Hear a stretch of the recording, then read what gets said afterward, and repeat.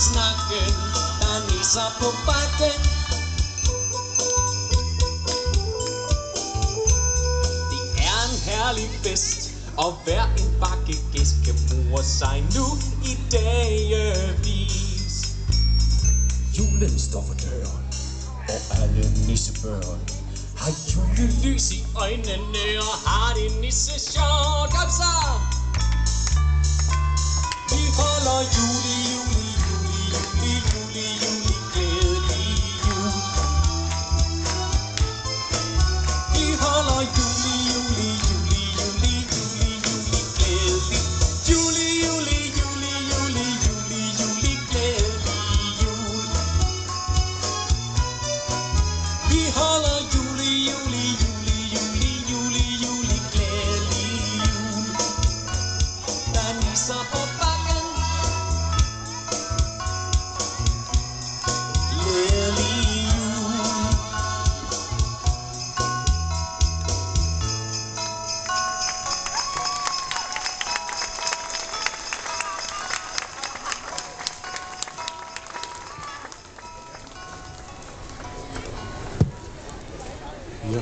Vores prællenisse, der startede hele festen heroppe på scenen.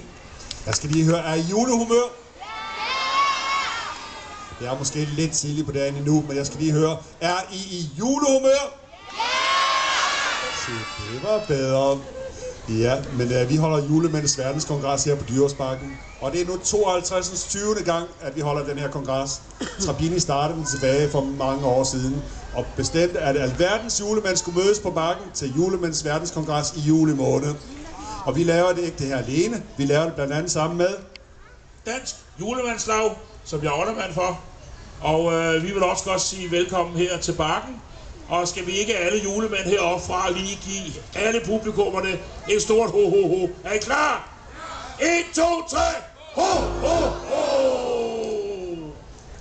Velkommen til. Og vi holder, og vi holder det også sammen med. Santa Claus of Greenland. Det er jo op på Grønland, op på Nordpolen, at julemanden han bor. Det har vi jo vedtaget herude på bakken for mange, mange år siden. Ja.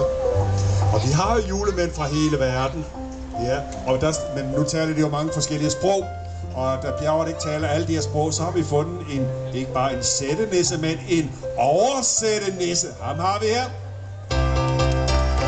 Velkommen oversættenisse.